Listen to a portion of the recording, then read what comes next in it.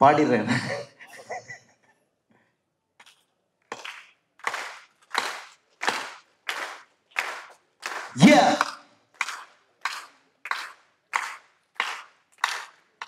Back on the streets are the Blue Star Boys. Who's got the balls? Who's got the yeah? Back on the streets are the Blue Star Boys. Who's got the balls? Who's got the yeah? நீங்க no பால்டா சொன்ன பாரு மச்சான் அந்த கோபால்டா இது பால்டா. அட தைய மாத்த போற ப்ளூ பால்டா. ஆட போறோம் கிரிக்கெட் கிரிக்கெட் போக மாட்டோம் தறிக்கெட்டு தறிக்கெட்டு. ஆட போறோம் கிரிக்கெட் கிரிக்கெட் போக மாட்டோம் தறிக்கெட்டு தறிக்கெட்டு. டுவெண்ட்டி டூ இயர்ஸ் சங்க மாட்ட பந்து காஸ் கல்லி கேங் பாய் இப்போ கம்மிங் லைக் அ பாய் ஏய் யார் அவன் கிரவுண்ட் உள்ள?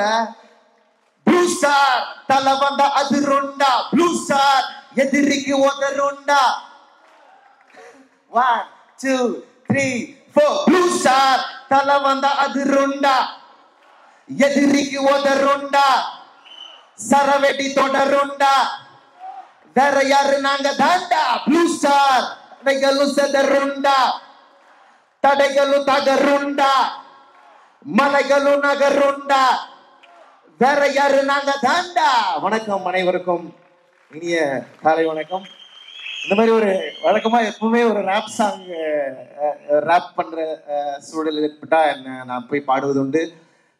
இந்த படத்துல ஒரு ரொம்ப அழகான விஷயம் நடந்திருக்கு.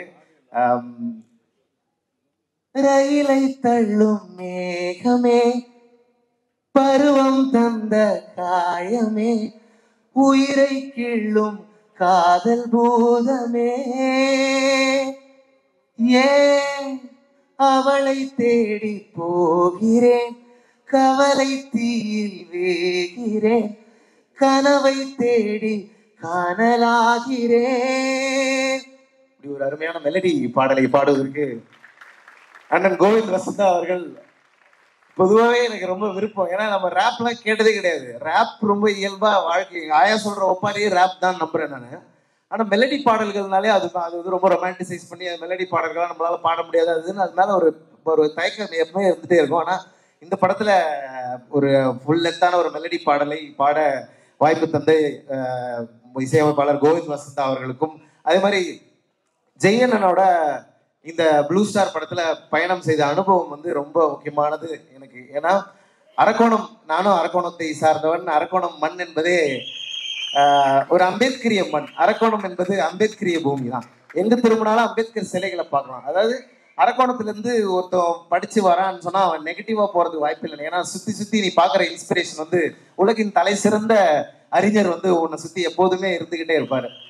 ஸோ அந்த வகையில ரொம்ப பேஷனேட்டான ஒரு அம்பேத்கரைட் ஃபில்ம் மேக்கரா அரக்கோணத்துல இருந்து கிடைத்திருக்கிற ஜெயக்குமார் அண்ணனோட இந்த திரைப்படத்துல நான் பணியாற்றி இருக்கிறேன் அப்படிங்கிறது எனக்கு ரொம்ப முக்கியம் நினைக்கிறேன். ஏன்னா அந்த சினிமாவுடைய பவர் என்பது சாதாரணமானது இல்லை அது நமக்கு நம்ம சினிமா மூலமா எவ்வளவு எழுச்சி சமூகத்தில் உண்டாக்க முடியுங்கிறதுக்கு வாழும் உதாரணமா வரலாறா நம்ம முன்னாடி இயக்குனர் அண்ணன் பா. ரஞ்சித் அவர்கள் இருக்கிறாங்க. அவருடைய கபாலி திரைப்படத்துல ஒரே ஒரு சூப்பர் ஸ்டார் சொல்ற ஒன்று வரும். மகிழ்ச்சி அப்படின்னு. அந்த மகிழ்ச்சி தான் பெரிய புரட்சி நினைக்கிறேன். ஏன்னா மகிழ்ச்சியா இருப்பது தான் வாழ்க்கையுடைய மிக முக்கியமான தேவையா இருக்குது. ஒடுக்கப்பட்ட மக்கள் விளிம்பு நிலை மக்கள்கிட்ட இருந்து பறிக்கப்பட்டதே மிகப்பெரிய ம- அந்த மகிழ்ச்சி தான் நினைக்கிறேன். அதனால இந்த படம் முழுக்க கொண்டாட்டமா மகிழ்ச்சியான ஒரு திரைப்படமா எளிய மக்களுடைய வாழ்க்கையில எவ்வளவு அன்பு இருக்கு எவ்வளவு மகிழ்ச்சி இருக்கு. ஏன்னா மீண்டும் மீண்டும் சோகமானவர்கள் துயரமானவர்கள் கஷ்டப்பட்டு கொண்டே இருப்பவர்கள்னு சொல்லி சொல்லியே அது அப்படியே அடுத்த தலைமுறை மனசுல படிஞ்சிருது அப்படியே. ரொம்ப நமக்கே ஒரு கூச்ச சுபாவத்தை ஏற்படுத்துது. ஆக்சுவலா பார்த்தா எங்க வீட்டுக்கு யார் வேணாலும் வரலாம். நான் எல்லோரையும் சமமாக பார்க்கக்கூடிய ஒரு வரலாற்றிலிருந்து வருகிறேன். எல்லாரையும் நேசிக்க என்னால் முடியும். எல்லோரையும் ஏற்றுக்கொள்ளுகிற சாதியற்ற ஒரு மனநிலையிலிருந்து வரக்கூடிய ஒரு கொண்டாட்டத்தை பதிவு செய்கிற ஒரு ஆரோக்கியமான சினிமாவாக ப்ளூ ஸ்டார் வந்திருக்குது. கண்டிப்பா அந்த ப்ளூ ஸ்டார் திரைப்படம் மிகப்பெரிய வெற்றி அடையும் வெற்றி அடைய வேண்டும். ஏனென்றால் இந்த சமூகத்தின் இந்த சமூகத்தை உண்மையாய் நேசிக்கக்கூடிய கலைஞர்கள் இந்த சமூகத்தின் மீது தீராத காதல் கொண்டு எல்லாம் அதாவது சாதி என்பது ஒரு நோய் அப்படின்னா அந்த நோயை தீர்க்கிற மாமருந்தாக இன்றைக்கு திரைப்படங்கள் திரைப்படங்கள் வாயிலாக மக்களுக்கு நிறைய கருத்துக்கள் போய் சேருது. அப்படிப்பட்ட ஒரு ஆரோக்கியமான சினிமா திரைச்சூழலாக நீலம் ப்ரொடக்ஷன்ஸ் லெமன் லீஃப் கிரியேஷன்ஸ் தயாரிப்பில் வெளிவரும் இந்த ப்ளூ ஸ்டார் திரைப்படத்தில்.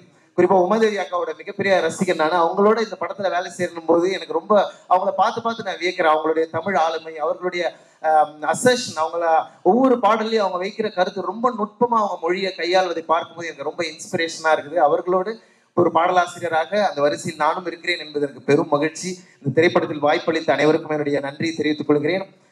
ஜெயனை பத்தி சொல்லணும்னா அவர் ஒரு பயணி.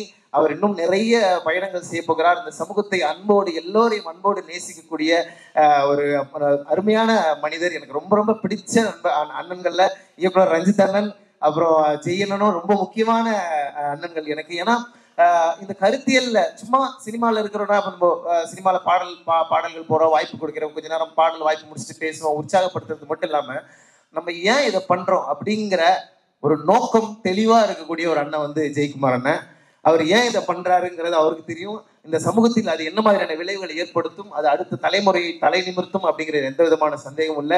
ஜெயக்குமார் அண்ணன் நிச்சயம் ஜெய்பார் ப்ளூ ஸ்டார் திரைப்படத்தில் உள்ள அத்தனை பேருக்கும் என்னுடைய மனமார்ந்த வாழ்த்துக்களை தெரிவித்து நன்றி தெரிவித்து விடைபெறுகிறேன் நன்றி வணக்கம்.